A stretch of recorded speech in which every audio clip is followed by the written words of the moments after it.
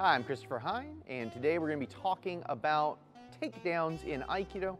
So I've made several Kanrin videos uh, talking about the Ude-Osae. Uh, I think there are two Ude-Osae, which is the, the arm takedown, is what that means. Uh, videos that are up on YouTube, and there's several more on my Patreon page, and I kind of talk about uh, what the spectrum of the takedown looks like. So from getting the position, from getting to the position for the takedown, and then how the position works out, and then if the position gets turned over, how that works out as well, right? So, so looking at all those different possibilities in that.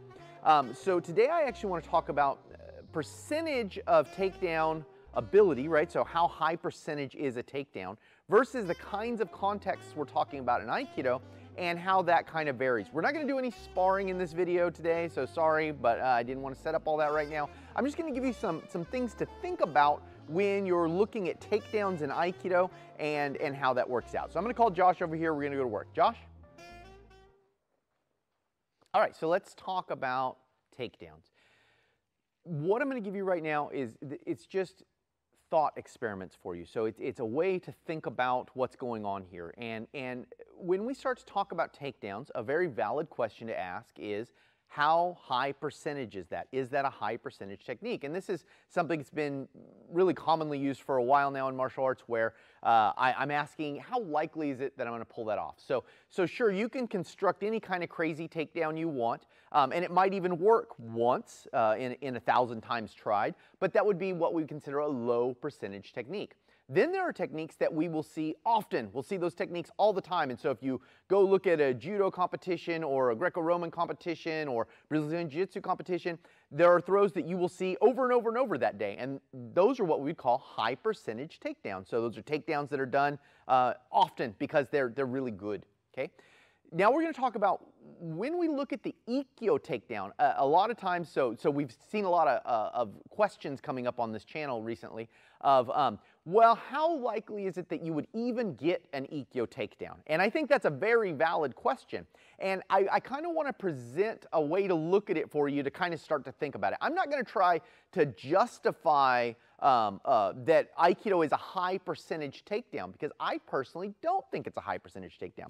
But I'm going to show you why it probably exists and why we need to think about it. Okay, so first we need to go, we need to ask what are high percentage takedowns, okay? So I think we could definitely make the argument that a double leg takedown is a high percentage takedown, okay? So you could go to wrestling tournaments, you'll see it all the time. Um, you'll see it in Brazilian Jiu-Jitsu, all kinds of places you'll see it a lot. Um, or a single leg, so some variation of a leg tackling technique, right? So some kind of technique that goes down here low and drives into this guy and knocks him off balance. That's a high percentage technique.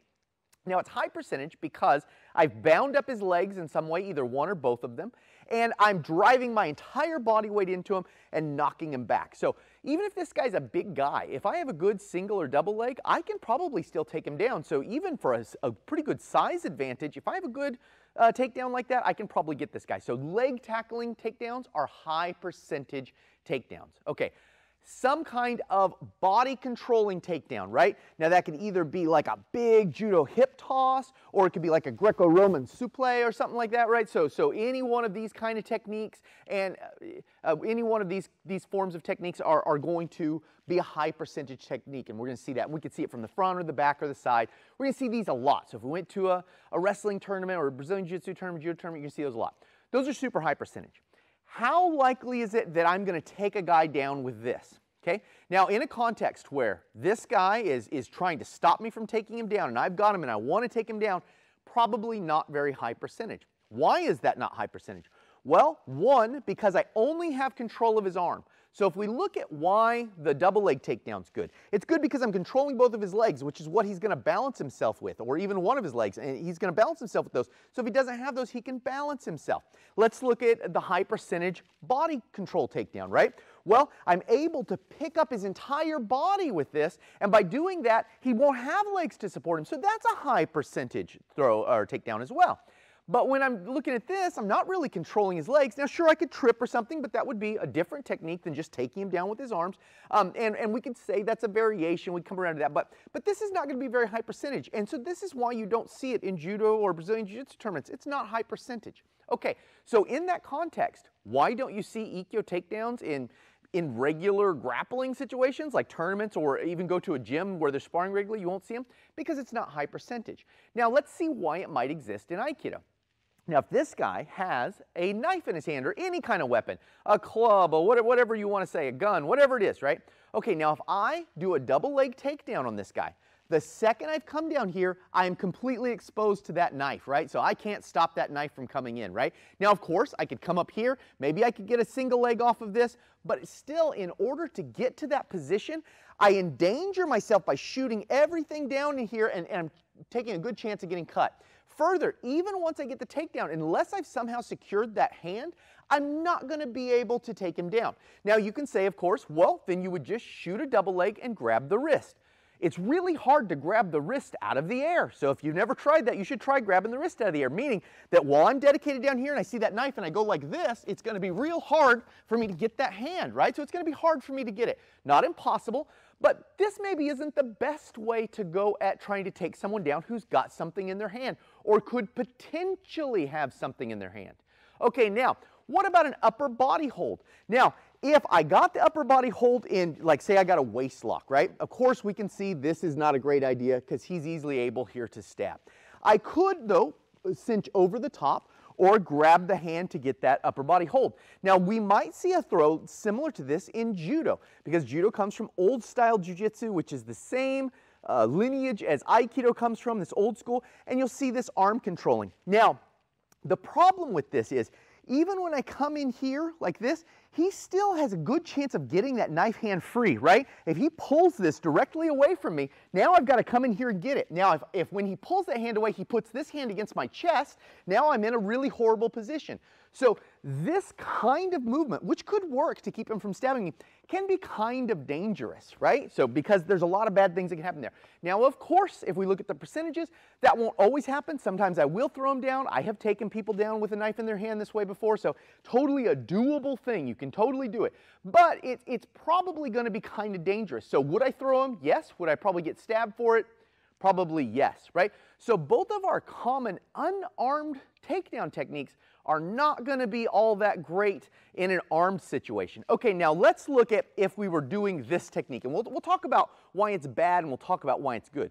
Now, if we're in this kind of position, you can see my whole body's away from him. Now, let's say he switched hands because that's an option he has. Now, notice I still have the entirety of his body holding him away from me. So if he reaches in there for stabbing, you can see it's really difficult for him to get that. And in fact, the more he reaches, so I'll just let him reach in right now. Okay, so he's just re good reach in. Okay, look, see how he's nicely reaching in to stab? Now, the second he nicely reaches in to stab and I extend into that arm, he goes off balance because the act of turning this half of his body in, which is what he doesn't want to do right now because he knows he's going to go off balance, okay, that act is what makes it possible to do that ikkyo. So him switching and trying to stab me from the other side is actually what makes that possible. Now it's dangerous because there's a knife. I don't, I don't, I, I never in my brain think that guy's got a knife and I want to go get him, right? And so this is part of the big difference of why Aikido is different than other martial arts.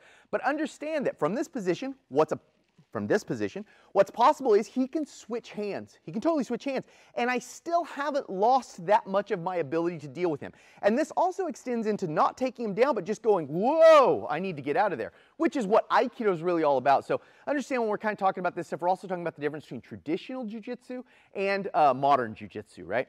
Okay, now let's say he doesn't uh, switch, and there's all kinds of ways in Aikido we have to keep to make it very difficult for him to switch. So all kinds of little ways. But let's say right now he's just not switching. Okay, now when I start to take him down, I am constantly keeping that knife away from me, which is good. So that makes it a really good type of takedown for this situation.